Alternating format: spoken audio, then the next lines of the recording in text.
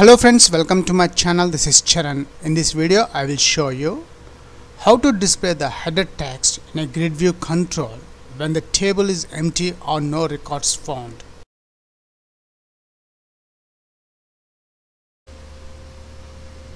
So notice here, after adding those two properties, I got the header text on the grid view control as well as the message no records found.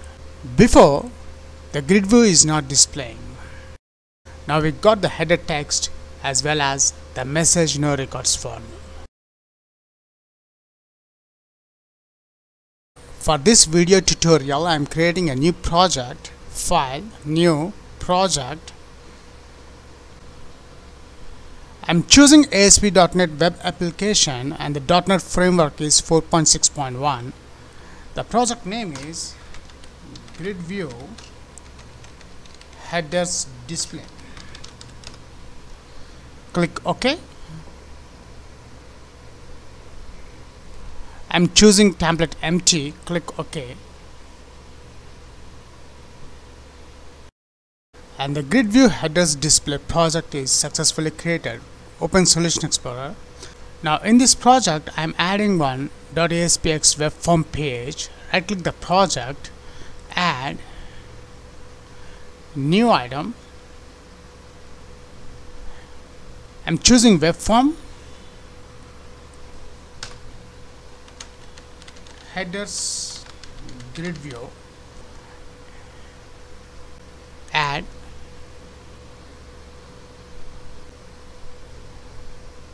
Now here we got the headers hyphen grid view.aspx page with a default HTML5 code. Now I will add a grid view control between the form and div tag. Go to toolbox, data, grid view control. I'm adding this grid view control in the center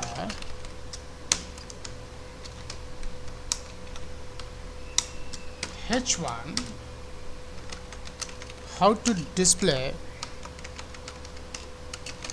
headers when table is empty or no records found?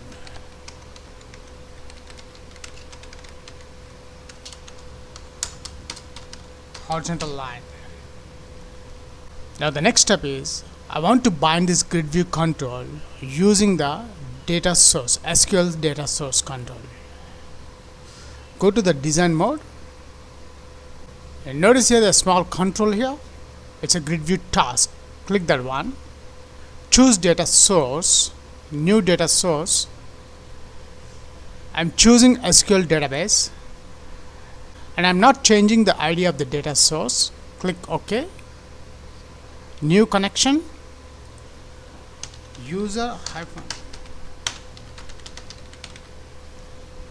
After adding the server name I'm choosing the database name. Sample DB is my user database. Test connection is succeeded. Click OK. Click next. Click next.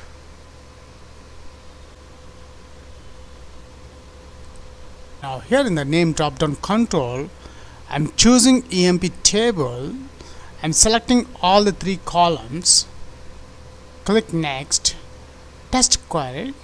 And notice this EMP table contains zero rows which means the table is totally empty.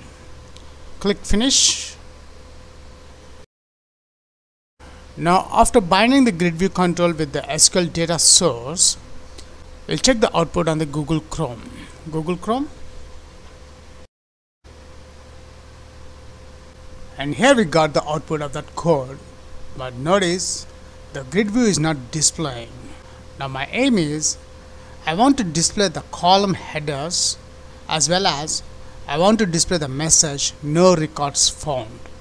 Let's quickly switch back to the ASP.NET coding part. We'll finish the rest of the code. I'm stopping debugging.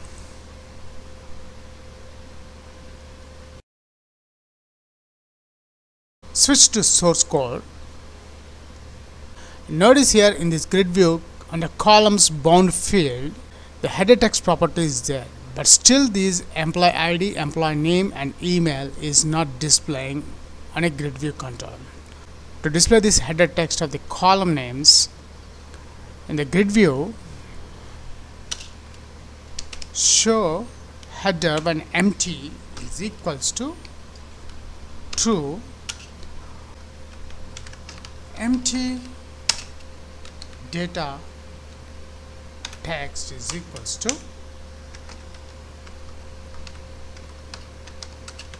No records found. That's it. We need to add these two properties in the grid view control. Let's check the final results on the browser. Google chrome. So notice here after adding those two properties I got the header text on the grid view control as well as the message no records found before the grid view is not displaying. Now we got the header text as well as the message no records found. That's it. If you like this video, please leave your valuable comment, share this video and please subscribe my channel. Catch you on my upcoming videos.